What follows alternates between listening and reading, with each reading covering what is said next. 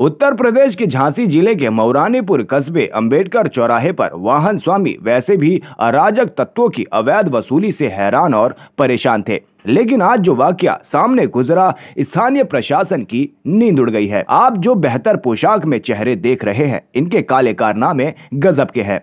इनके चेहरे असली हैं, लेकिन ओहदा और पद फर्जी है। ये तीन शातिर बदमाश आरटीओ बनकर ट्रकों और बसों के कागज़ चेक करते हैं और भोले भाले वाहन स्वामियों से ठगी करते हैं।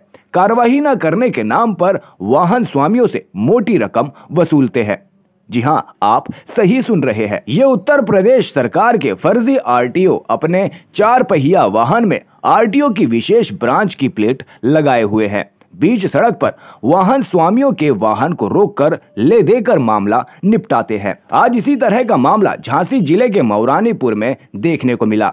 हाईवे पर एक बस की चेकिंग की। ओवरलोड बस पर कार्यवाही न करने के नाम पर हज़ारों की रकम वसूली। कंडक्टर को शक होने पर उसने मौरानीपुर पुलिस की मदद ली।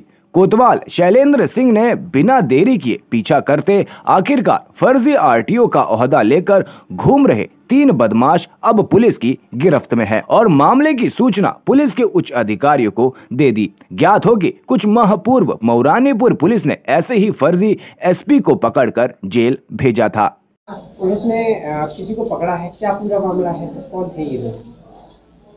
आज थाना महारानीपुर पर सूचना प्राप्त हुई कि कुछ लोग हाईवे पर फर्जी आरटीओ बनकर बसों से अवैध वसूली कर रहे हैं। उक्त जान उक्त जानकारी को प्राप्त होने पर थाने द्वारा त्वरित कार्रवाई करते हुए कुछ संदिग्ध लोगों को थाने पर पूछताछ हेतु लाया गया है। पूछताछ के क्रम में अग्रिम विधिक कार्रवाई अमल में लाई गई। कितने लोग हैं सर टोटल? अभी जो जन अभी पूछताछ हेतु जो संदिग्ध लगे उनमें टोटल संख्या तीन लोग हैं।